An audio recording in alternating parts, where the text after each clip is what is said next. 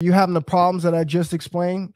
Are you having guys that that that are trying to get you kicked out of your job?